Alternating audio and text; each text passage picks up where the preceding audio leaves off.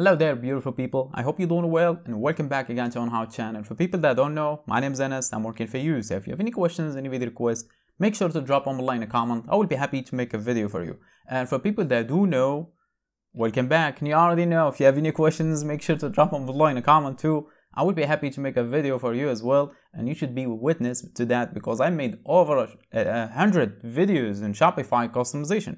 They were mostly requests from subscribers and some people not even subscribers, but I'm fine with that. Just a like button, that's all I'm asking. Even though if you are interested in Shopify customization, you want to be an expert, you want to know how to do anything yourself without hiring a developer and so on, why not subscribing to the channel? It's completely free. I don't sell any courses, never will. I don't have any paid memberships or anything like that. All the content, including the code I do create, I do share it completely free on the channel.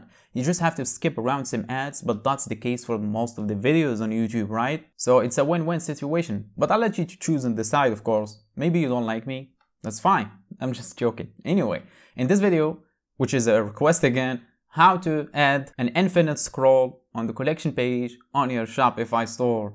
And this is was requested actually like a week ago or something but I have the schedule is full, many requests I have to do because this channel is actually surviving by requests. More requests equals more videos, no request equals no videos.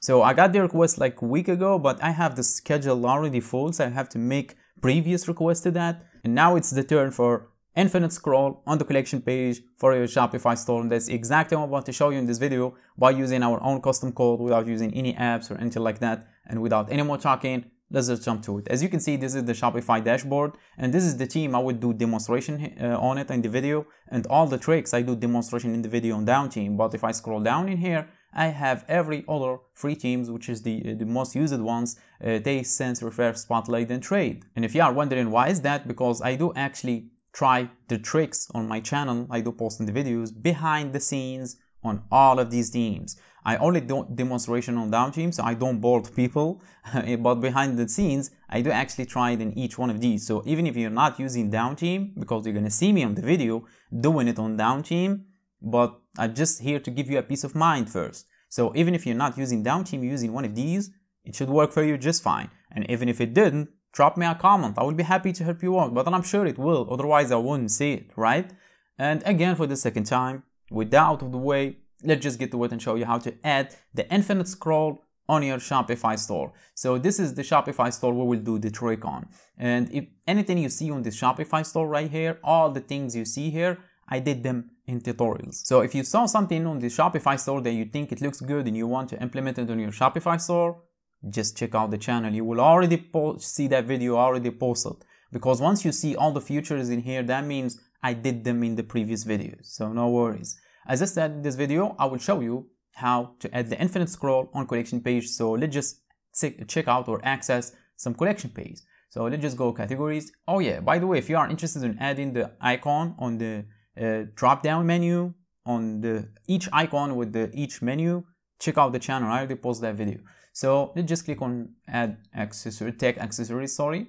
So let's just check out this one. This one doesn't have infinite scroll. So I have to navigate again to the page number two in order to see the other checkout, uh, the other products. So what if I want to add infinite scroll, which is uh, just I just have to scroll down. It will show me the other products, and I just have to scroll down again for the second time, and it will show me. It will load the other products. So keep in mind that this trick or this code will not preload the products cards before the customer or the visitor scrolls down. It will not do that because that will slow down the Shopify store. It will keep them not loaded until the customer scrolls down, then it will load the products in the collection page. I just have to say that in the beginning. So as I said, we will keep this page open, do the trick and come back and see if it will or not. So let's just keep this page open. The first thing you're going to do is, as always, access Shopify dashboard. Then click on the three dots on left of customize and click on edit code. And the next thing you're going to do is we need to add an, a new snippet. A new snippet. If you see here folders at the last page here, I mean the, uh, the bottom, you will see uh, sections, snippets. Click on snippets, then click on add new snippet. And it will show you this prompt right here where you're gonna tell you to name the snippet, obviously. And if you are wondering what we're gonna name it is infinite scroll because that's what we're gonna do. So make sure to type in infinite then dash scroll, just like this, infinite dash scroll. Then click on done and after that you will see a completely uh, empty file. So obviously you need some code in here in order to add that function. And to get that code, you need to hire a developer, pay him, wait 24 hours, get back to you. I'm just joking. Scroll down description box and you will see a link, name it as code, then simply click on it like this and you will see this code like right here. It's pretty long code, but no worries. Simply click on raw option in here, simply click on it and it will uh, show you the code in a completely blank page. Now you just have to click on, on your keyboard, I mean click on, if you are Windows, click on Control A, I'm on Mac, I'm going to click on Command A and it will highlight the whole code, it will select the whole code, sorry, then right click and copy. After you did copy the code, get back to the code editor and simply paste it in the new snippet that we did create, which is infinite dash scroll, as you can see. After you did paste in the code, click on the save button right here and hold on, we didn't finish yet because we need to add another thing and that thing will be in main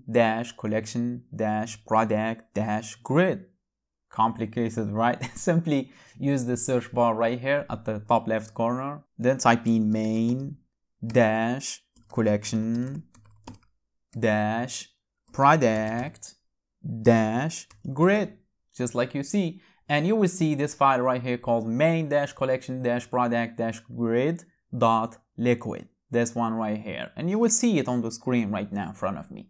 So simply click on this file right here bunch of code in here but in here we need to find a specific section again where we need to paste in some special code. And in order to find that section, we're gonna use the search bar. And if you are wondering how to get the search bar, simply click on the code just like you want to write something and don't, don't write anything.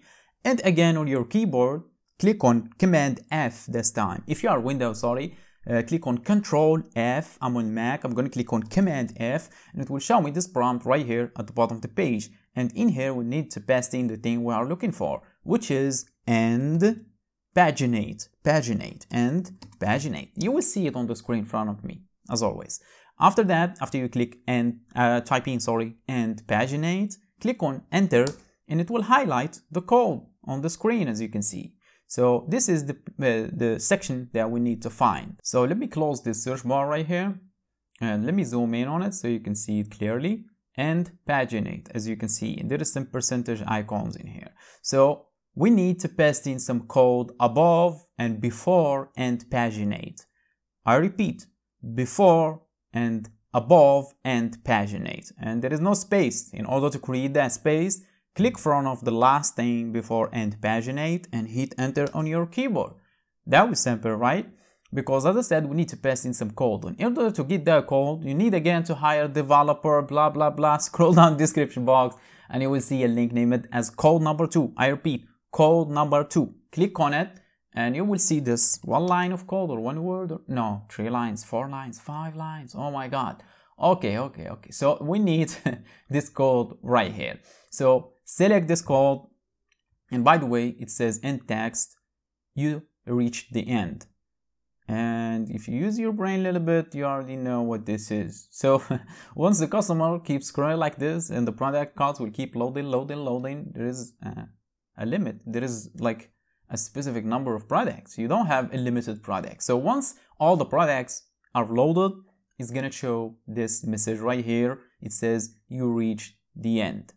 You can remove this make it empty if you don't want to show any message or you, you can actually edit this. You can edit this to any word you want or any text you want. In my case, I'm going to keep it like this just for demonstration. So select the whole thing. Make sure to uh, select the closing bracket as well. Right click and copy. Then get back in here. Paste it again before end paginate and above end paginate. Paste it in here. Then we're going to click on save button after a couple of seconds, we will get back in here, reload the page and see if that will work or not. And it will work. Just a spoiler. so now if we scroll down a little bit, it's loading. Look, it's loading more products. Once I scroll down, it loads more products. It loads them all. It says you reach the end. There is no more option to click on the second page or the third page and the form as you can see. So let me show you that again for the people that will say it's not working. Okay, let me scroll down. It's loading. So it loads the product as I scroll down, not preloading the product which will affect the speed of your Shopify store. And again, that's how you add the infinite scroll on your Shopify collection page easily with just a custom code. If you have any questions, make sure to jump on below. But for now, I think my job is done. So thanks for watching. Catch you on the next one.